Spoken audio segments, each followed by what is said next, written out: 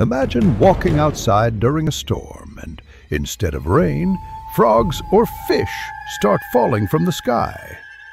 It sounds impossible, but it's happened. For centuries, from ancient Greece to modern Mexico, people have witnessed animal rain, storms that drop fish, frogs, even worms.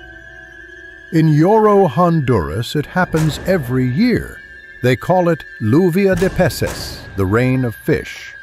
Scientists say waterspouts might be to blame, tornado-like funnels that lift small animals from rivers and lakes. When the storm weakens, the creatures fall, sometimes miles away. Logical? Sure. Proven? Not yet. Some call it science, others, a miracle.